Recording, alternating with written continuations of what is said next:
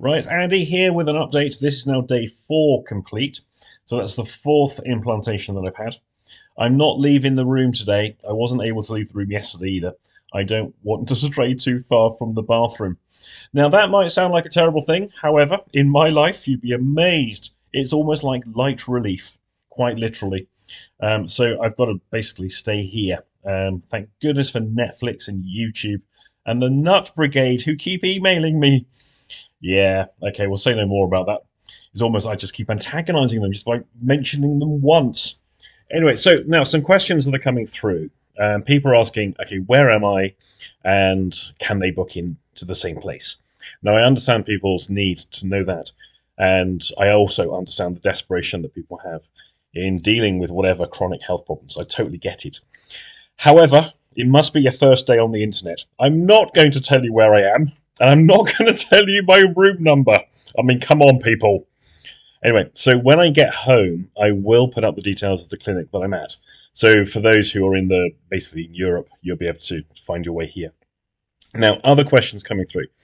Um, the most common one is Will um, FMT, fecal microbiota transplantation, will that work for my particular condition? As in their condition, not mine. I don't know. I don't even know if it's going to work for my condition. Um, I, am somebody who has looked up an awful lot of data, re- proper research data. I'm not talking like YouTube and Facebook research. And I'm fairly satisfied that there's a high probability that this can help me. Um, I'm not an expert on anything, and there's no way an email that just gives me one or two lines about your health condition with a request, do you think this will help me? I cannot possibly know. How can I possibly know? This is something you'd have to actually discuss with whatever clinic. Now, the next one is people asking me for opinions on particular clinics. Again, I don't know. I've come to this one. I'm not an expert on clinics. I haven't done the grand uh, fecal microbiota transplantation clinic tour, and I don't intend to. So I'm sorry, but I know I understand the desperation, but I cannot help you with that those kind of questions. But I will advise you again: um, be be aware of the forums where these things get discussed. The Nuts Brigade is very very strong, and so you may want to take some leads from the forums, but actually do direct conversation with the clinics, as I did with this one.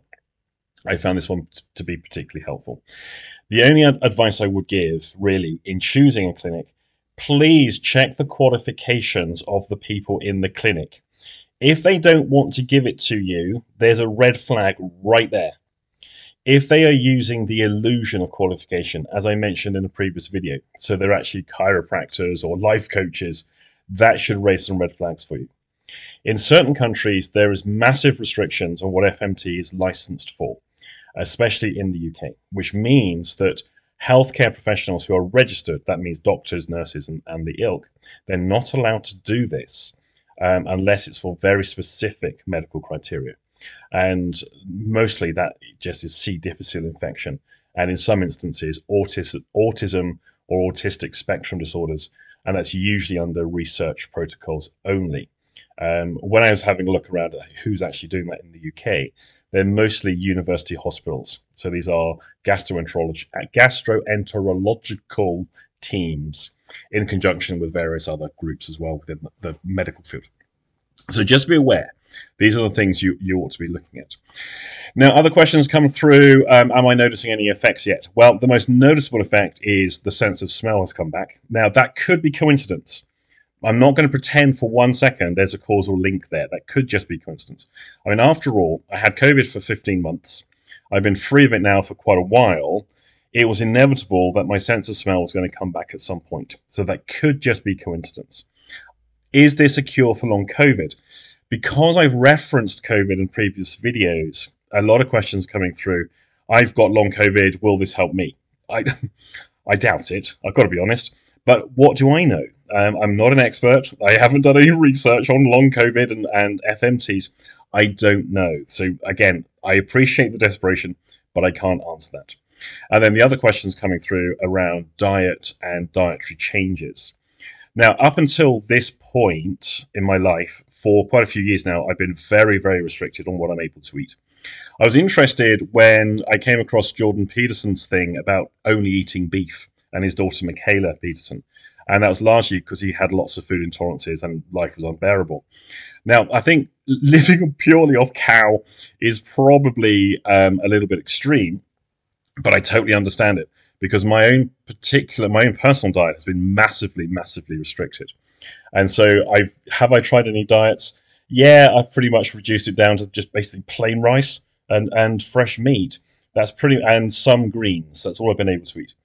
Now it's still early days. I'm only on day four of a 10 day treatment protocol, and results aren't normally experienced immediately. So, am I have I got a better diet? Do I have improvements there? I have no way of knowing yet. Again, appreciate the questions. So I think that's all for now. Just one last point: an awful lot of people are either commenting on various forums or on the YouTube videos or emailing me medical advice. You don't need to do that, really. Take this as read. My I have a background in nursing. I worked in accident and emergency and neurosurgery, amongst other areas. I've worked in mental health for a lot of years too, and I was an occupational health advisor for five five or six years. I'm pretty well versed in proper, I mean, real research, not Facebook, and I'm very familiar with medical processes and so forth. I have a lot of acquaintances, colleagues, and friends who are either nurses, doctors, or whatever. So I'm pretty up on on stuff. Um, some people are, are writing, "Well, don't you know how dangerous FMT is?" I'm not doing it myself. I'm not plucking some some strangers plucked off the street here. Poop in this pot. No, this is a medical thing. So I think that's all for now. Um, I appreciate everyone's input. This um, subject matter got a lot more interest than I was anticipating, and I thank you all for your encouragement too. I will give you another update tomorrow.